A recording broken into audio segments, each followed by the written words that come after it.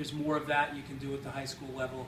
Um, it seems like when you work somewhere for a long time in sports, it's a foregone conclusion that advancement is, you know, to college reporting. I mean, mine was a little backwards because I started as a college uh, reporter. When I, when I got the job, they had shuffled things, and the opening was the college writer. So I was a college writer before the high school writer. But I had a niche for high school writing, and I was I'm pretty organized, and that's a key part of being a high school writer.